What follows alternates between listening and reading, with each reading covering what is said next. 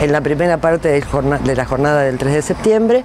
A partir de las 15.30 largamos festejarnos no solo para las personas que participan de los Juegos, sino para todas las personas mayores que quieran incorporarse a esta jornada recreativa. Coincidentemente con otras fechas que hemos tenido recientemente, vamos a estar acompañando los Juegos Rionegrinos para personas mayores. En esta ocasión eh, nos van a acompañar otras áreas del Ministerio también para que la fiesta sea más grande.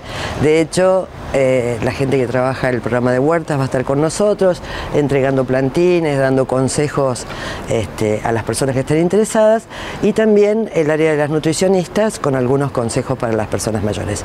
Es una jornada recreativa, promocional, la idea es que las personas mayores lo pasen muy bien y que se lleven además algunas ideas de cómo afrontar algunas cuestiones de su vida cotidiana.